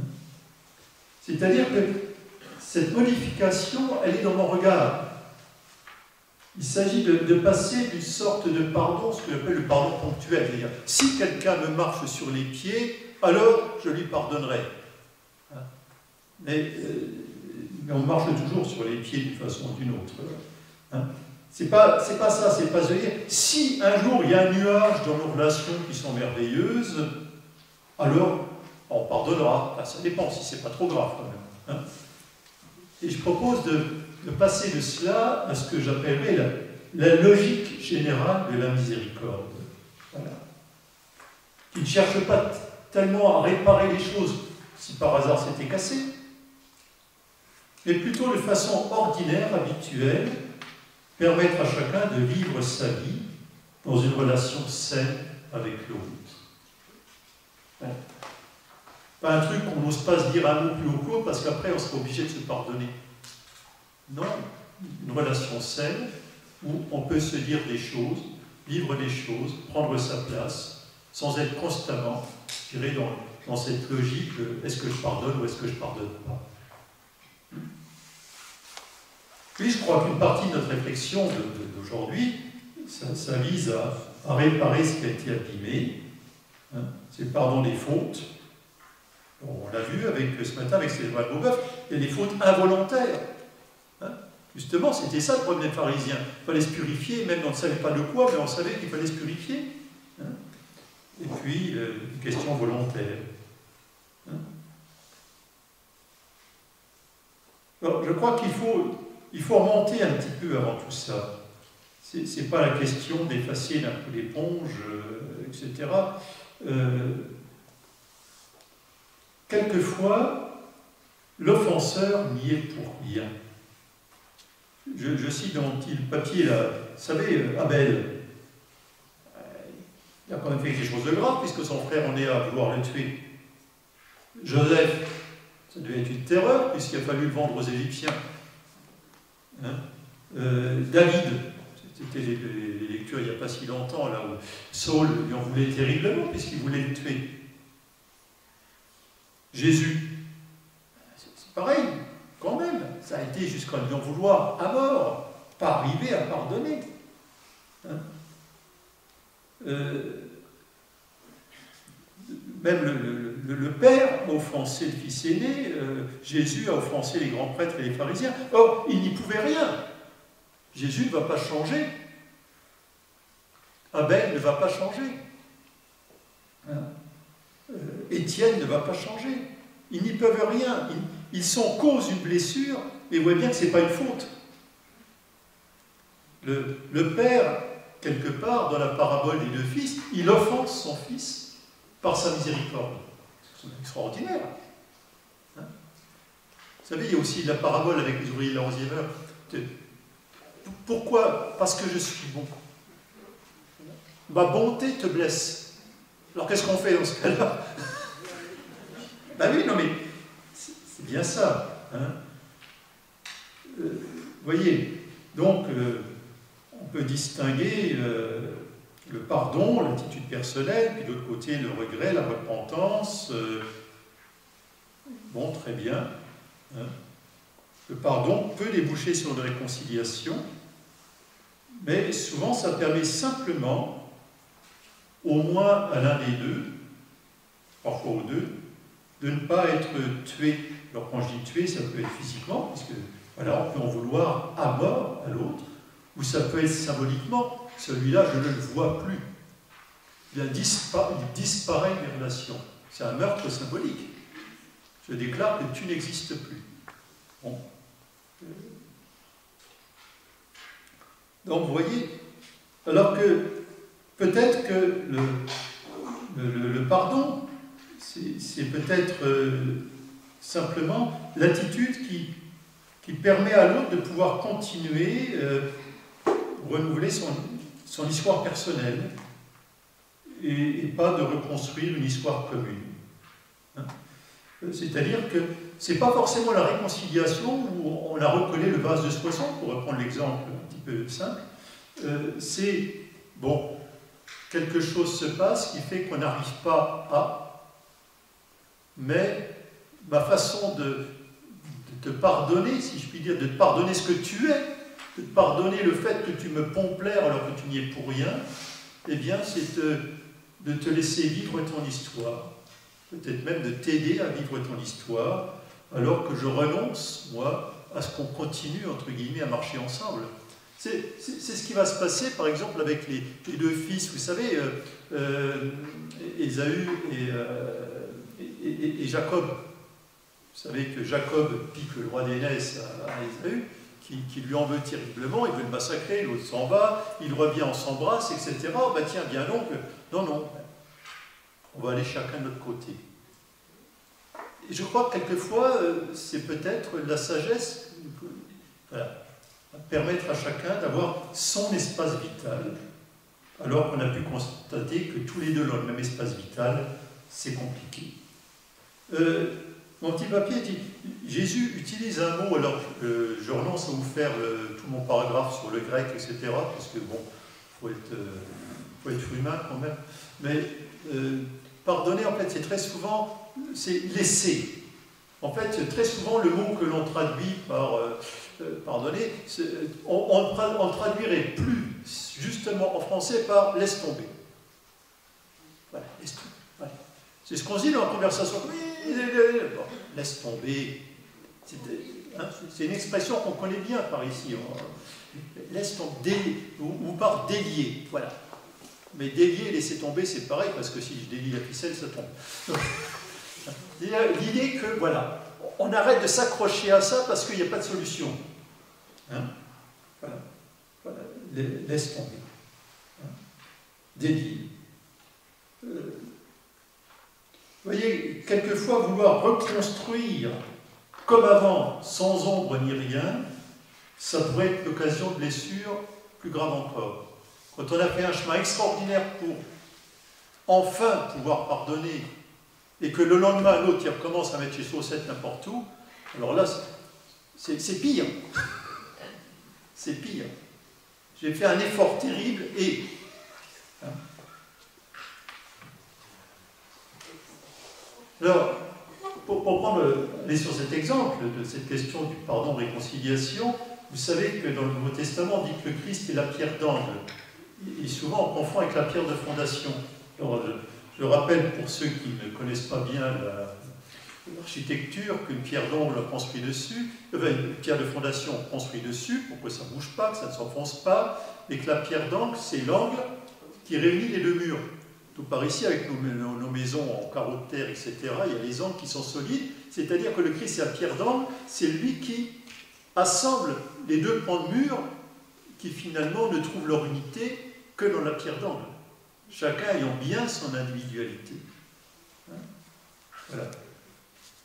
Donc chacun est peut-être invité dans cette logique de pardon à l'autre qui est ce qu'il est, hein, invité à, poursuivre sa, route personnelle. Vous connaissez aussi l'expression évangélique, à outre nouvelle, à, à nouveau outre neuve, ça ne veut pas dire que les vieilles outres doivent être brûlées sur la place publique. Ça veut dire simplement que il, y a des choses qui, sont bonnes en elles-mêmes, mais qui ne sont pas forcément compatibles. Et peut-être que quelquefois on s'en veut terriblement, et on n'arrive pas à se pardonner pour des choses qui ne méritent ni de s'en vouloir, et donc ni de se pardonner, et qui, tiennent à ce qu'on n'a pas perçu l'identité, le spécifique de l'autre, ce qu'il peut apporter et ce qu'il peut, et ce qu'il ne peut pas apporter.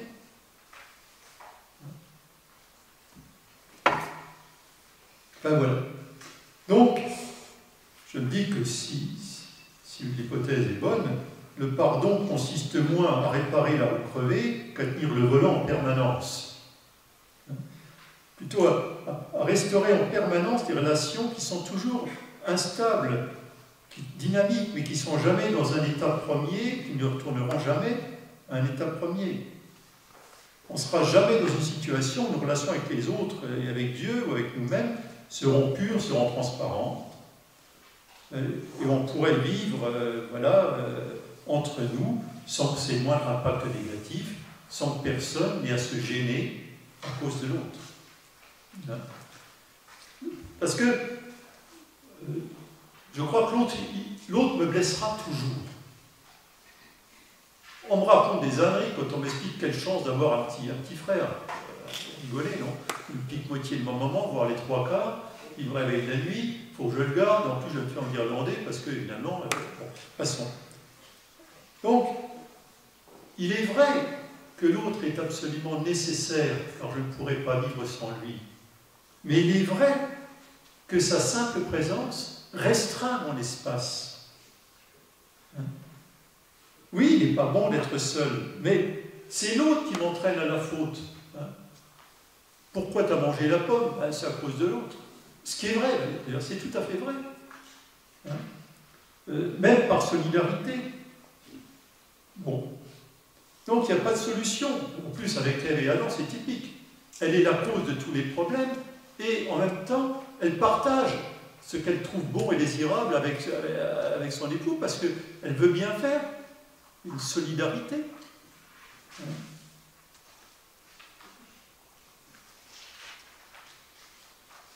Donc je crois qu'il y, a, euh, y a ce rapport à l'autre qui est complexe, et je reviens encore dessus, mais euh, on hérite, on hérite du passé, donc avec toutes les, cicatrices, avec toutes les habitudes différentes, et des habitudes divergentes, parce que c'est bien gentil dans un discours comme ça, d'expliquer que la différence est une richesse, oh que c'est vrai, mais des fois on sous la richesse, hein, on un riche, quoi. Vous voyez, il faut quand même... Non, mais de temps en temps, voilà, il ne faut pas qu'on reste dans le discours convenu, comme quoi l'autre, il est merveilleux, mais voilà, non, l'autre, il est autre surtout, et il y a les, jours pairs, ça peut être merveilleux, et les jours impairs, ça peut être pas merveilleux du tout. C'est comme ça. Je, sais de quoi je parle puisque l'on fait partie des autres.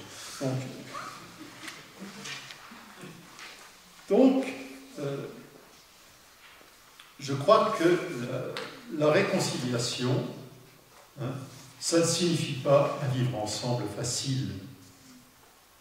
On peut penser à la réconciliation franco-allemande, on s'est réconcilié, ça ne veut pas dire que les relations ne demandent pas constamment un travail d'écoute, un travail d'effort sur soi, etc. Hein?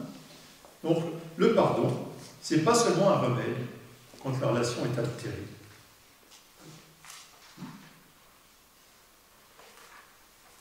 Alors, je crois que le, pardon fait partie de façon originaire, structurelle, dès le départ de la relation avec les autres. Hein?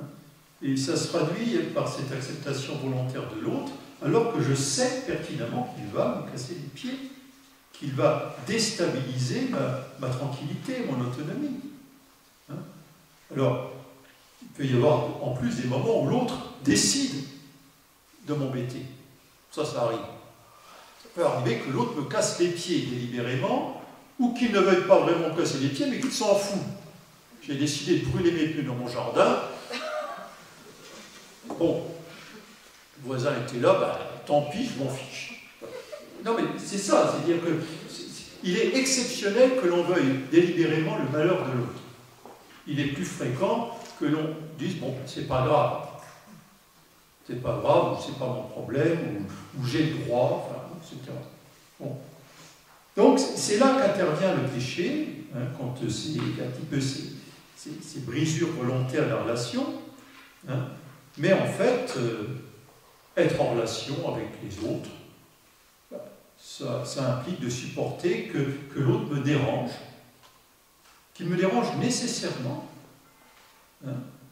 Euh, donc, ce qui, va être déterminant, c'est pas d'arriver à se pardonner à l'occasion, c'est d'accepter de maintenir une relation, de réengager une relation malgré tout. comme de temps en temps, c'est pas possible, parce que l'autre, il est mort avant qu'on puisse se réconcilier, parce que l'autre il est mort depuis trois siècles et qu'on s'en veut toujours entre peuples, etc., euh, ben, d'espérer que la relation va être de nouveau assainie, ben, ça fait partie de l'espérance chrétienne. C'est la réconciliation universelle en Jésus-Christ. Je ne sais pas si nous arriverons à nous réconcilier en ce monde, mais j'espère que l'éternité ne se terminera pas sans qu'on soit réconciliés. Hein? Alors voilà, donc ça veut dire que si toute relation risque toujours d'être blessante, si le pardon est constitutif de toute relation qui veut durer, ben, je me suis interrogé en disant, Dieu, Dieu est totalement relation, il est Trinité, il n'est que relation, Dieu. Hein? Il existe dans une relation déjà interne. Alors, euh, je me suis dit, mais est-ce que, puisque Dieu, c'est Dieu quand même, est-ce qu'il y a une relation tellement merveilleuse qu'il n'y a pas de question de réconciliation en Dieu? Ça paraît bizarre de dire est-ce qu'il faut la réconciliation en Dieu, mais donc, euh, je me disais qu'en nous offrant son pardon, en, nous offrant la réconciliation, est-ce que Dieu peut nous donner autre chose que ce qu'il est lui-même? Hein? Est-ce que, est que, le pardon, euh, c'est pas ce qu'on appellerait autrement vivre en grâce Vivre constamment en faisant grâce et en recevant la grâce. Hein? Au-delà du pardon entre la victime et le coupable, un pardon qui est une manière d'être euh, habituelle, réciproque, mutuelle, partagée, entre personnes qui occupent le même espace et donc forcément doivent se serrer l'une ou l'autre pour que l'autre puisse avoir de la place. Hein? Dieu, Dieu est amour. Alors l'amour pour la créature, pour la création, pour l'humanité, ça vient de ce que Dieu est amour en lui-même. Et la relation trinitaire entre le Père, le Fils et l'Esprit, hein, euh, je, crois que ça veut dire qu'en Dieu, il n'y a que de l'amour. L'amour du Père pour le Fils, du, Père pour le, euh, du Fils pour le Père dans l'Esprit, mais la distinction des personnes, puisque justement, ce n'est pas trois fois la même chose, puisque le Père n'est pas le Fils. Hein, ça veut dire que cet amour, ce n'est pas l'amour de l'identique c'est pas je m'aime bien moi-même. Dieu ne s'aime pas lui-même au sens où moi je m'aime bien moi-même et où du coup ben, je n'aime ni souffrir ni changer. J'aime bien moi-même et ma tranquillité. Hein voyez, l'amour à l'intérieur de Dieu, c'est pas du narcissisme on s'aime parce qu'on est tellement bien ensemble et on se fait jamais de peine. Hein c'est pas une espèce d'égocentrisme une espèce de béatitude vaguement inconsciente. L'amour, c'est sorti de soi en faveur de l'autre. Et ça pose une question. Ça veut dire quoi en Dieu même Un amour pour l'autre. Hein? Finalement, qu'est-ce que ça coûte à chacun? Qu'est-ce que ça coûte au Père d'aimer le Fils? Y a-t-il un amour qui puisse exister vraiment sans que ça nous coûte? Dans l'Évangile, on nous dit que le nom de la mesure de l'amour, c'est le don de la vie. Ce n'est pas le don de la vie qui est transmis par extension. C'est pas je, me bouture. C'est le don de la vie, euh, don d'une existence qui est perdue, sacrifiée en faveur de l'autre. Le Fils est prêt à mourir pour le Père. Et ça n'amuse pas. Et le Père accepte de voir son Fils unique souffrir et mourir. Et ça n'amuse pas non plus. Le, don de sa vie, c'est un don qui coûte. Et nous voyons bien le Christ qui souffre. Qui souffre parce qu'il veut accomplir la volonté du Père. À cause de son Père, il a faim. À cause de la volonté du Père, il va vers la croix. Il demandera que la coupe s'éloigne moins de lui, mais il acceptera d'accomplir une volonté qui lui pèse et qui l'effraie. On peut comprendre, voilà, ça c'est l'amour.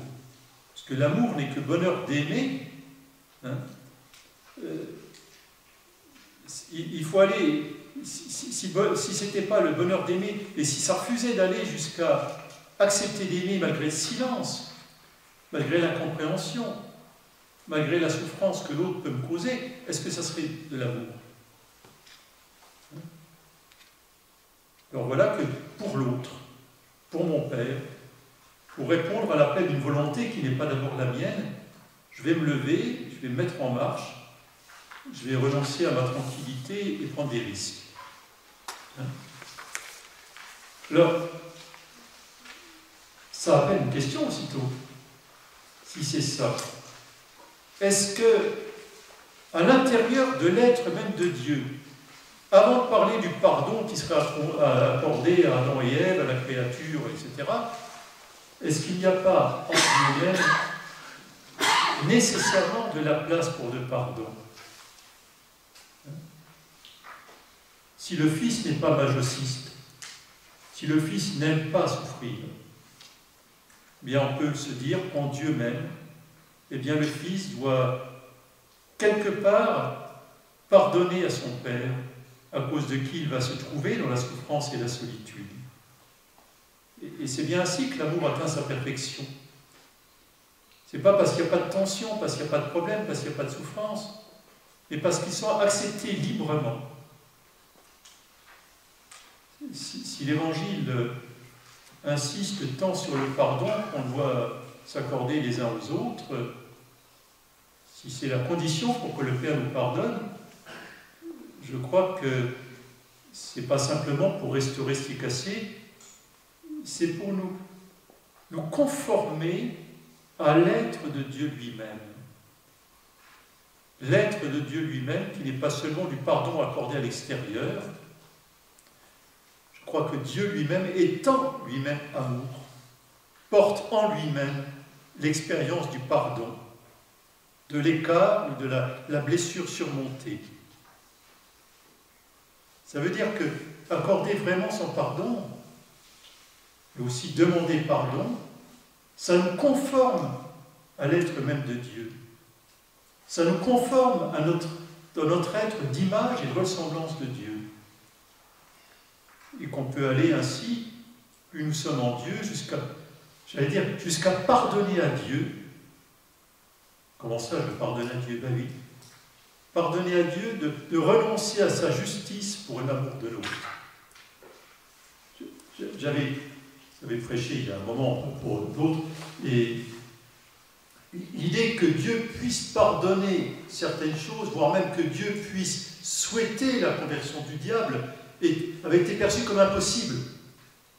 C'est-à-dire qu'à la limite, euh, non, on ne pardonnerait pas à Dieu d'accorder son pardon à des choses pour lesquelles nous ne pouvons pas penser le pardon. Et c'est exactement ce qui se passe dans euh, l'évangile des, deux fils. Hein. Le, pardon accordé par le Père au, fils cadet, c'est vécu comme une blessure par le fils aîné. À ses yeux, ce Père ne respecte pas la justice. Il préfère sortir de la maison du Père.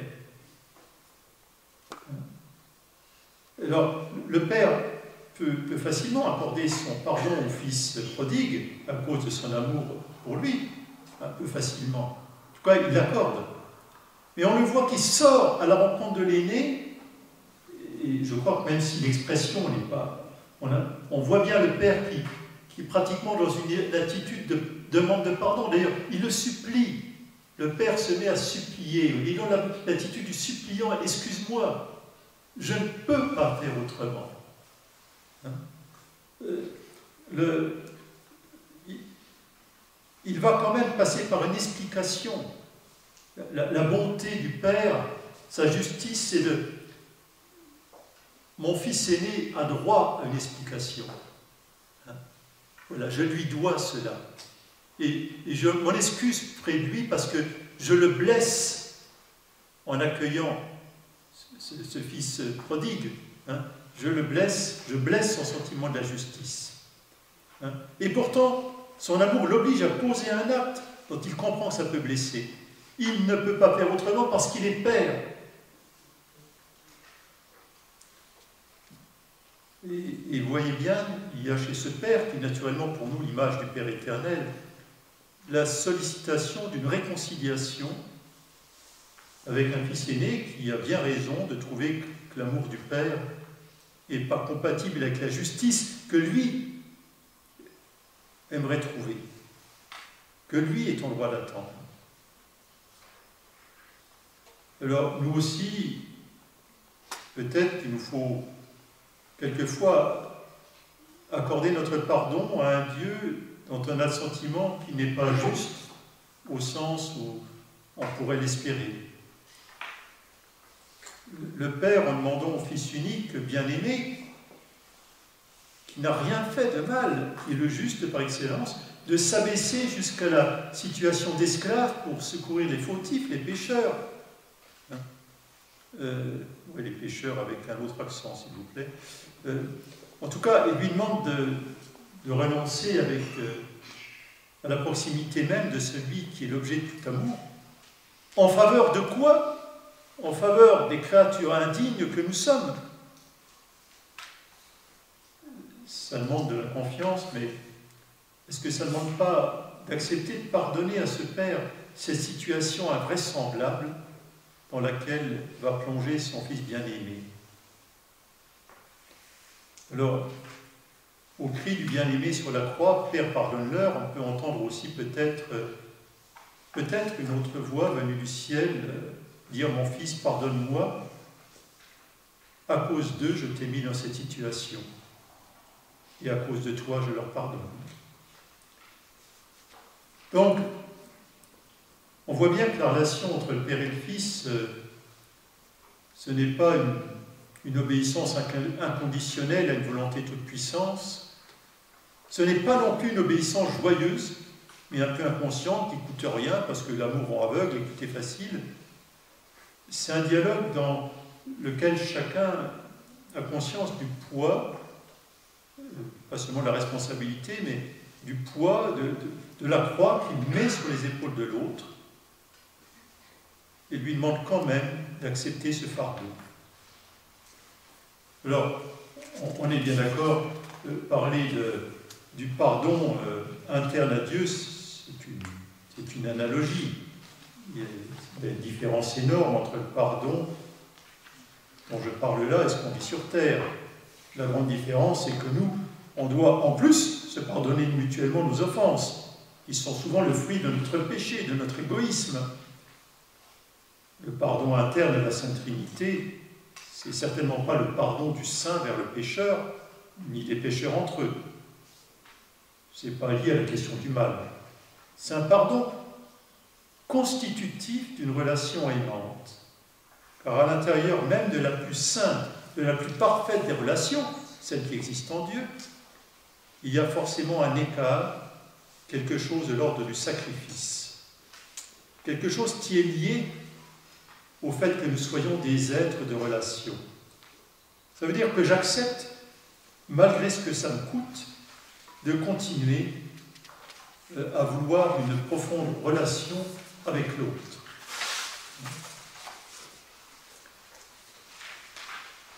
Aimer Dieu, c'est aussi lui pardonner. Peut-être déjà lui pardonner de ne pas correspondre à l'image qu'on se fait de lui, de ne pas correspondre à ce que l'on attend de lui, notamment la justice.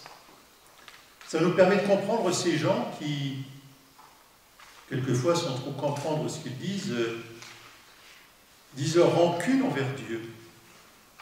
Hein? Un Dieu qui semble aussi accueillant bandit qu'au sein. Et il faut que Dieu accepte d'endurer le reproche des justes.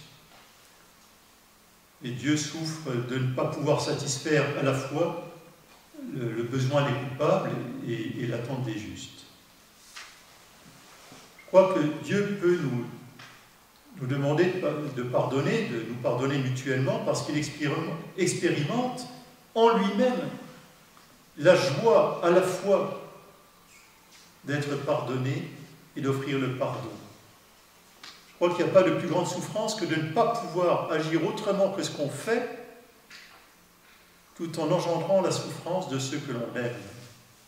Ça, c'est la souffrance du Père, peut espérer que son fils aîné accepte finalement d'entrer dans le festin en signe de réconciliation avec son père et avec son frère. Pour reprendre toujours l'image du père de la parabole, c'est souvent la miséricorde qui est source de blessures. Tu lui trouves toujours des excuses. En voyant Jésus, le fils aîné, on peut penser qu'il aurait bien des raisons de ne pas pardonner, mais Jésus, fils aîné, va plus loin, plus loin que de nous pardonner. Pour accomplir cette volonté miséricordieuse du Père, il va fournir lui-même la victime pour la fête. Et Père de l'Église, dans le temps, dit que finalement, le, le veau gras était aussi analogiquement le Christ. C'est lui qui en même temps euh, fournit la nourriture de la fête pour le, retour du Fils prodigue. Voilà, alors, je termine, pour la foi chrétienne, le pardon, c'est d'abord une réalité spirituelle qui ne dépend pas des états psychologiques. Euh, Saint Jean disait Notre cœur aurait pour nous condamner, Dieu est plus grand que notre cœur. Hein. Le pardon, c'est un objet de, foi et d'espérance. Nous croyons, sur la base des, paroles du Seigneur et de la résurrection, que nous sommes sauvés. C'est-à-dire que notre relation avec lui est restaurée. Parce que le salut, ce n'est pas de restaurer une relation d'une autonomie, j'aurais besoin de personne. Le salut du paralytique, c'est pas debout, maintenant tu, vas pouvoir euh, faire ton marathon tout seul et tu vas pouvoir enfin te passer les autres. Le salut, c'est tu vas pouvoir te, remettre debout pour aller à la rencontre des autres. Pour toi-même, éventuellement, à ton tour, aider d'autres paralytiques à se relever. Hein. Le salut comme restauration de la relation. Voilà. Pour être enfin, j'allais dire devant les autres comme Adam, hein, euh, un état de pardon, une délivrance, une guérison, nous permettant d'être nus l'un envers l'autre sans honte. Alors, je crois que c'est cette foi en ce pardon qui est accordé par Dieu à moi, aux autres, cette certitude qui donne l'esprit euh, qui nous mène à pardonner nous aussi. Mais entre humains, le pardon doit s'incarner dans des attitudes concrètes, comme Jésus l'a montré. Un pardon qui resterait purement interne, sans qu'il y ait aucun acte sensible de poser. C'est une infraction. Il manque le, geste, le signe qui, montre que c'est vrai. Il faut bien que quelqu'un me parle, il faut bien que quelqu'un me, tende la main, que quelqu'un me touche pour matérialiser ce pardon, pour montrer que je ne suis plus un lépreux, que je ne suis plus un pestiféré, que je suis fréquentable. Hein? Et vous savez que c'est la notion. Quand on parle du sacrement, sacrement c'est le geste qu'une parole accompagne. C'est-à-dire que si on est dans la parole uniquement, ça ne marche pas. Hein? Le, signe du pardon que Dieu nous donne, c'est la capacité à nous pardonner mutuellement. Et on ne peut pas euh, distinguer entre les, la question du pardon avec Dieu, avec les hommes, parce que c'est la même source. Et je crois que les deux chemins, le chemin du pardon accordé à l'autre, et le chemin du pardon demandé à l'autre nous mène au même résultat, la, délivrance et la guérison. Je crois que celui qui ne peut pas pardonner est tout aussi lié, tout aussi meurtri que celui qui ne peut pas accueillir le pardon.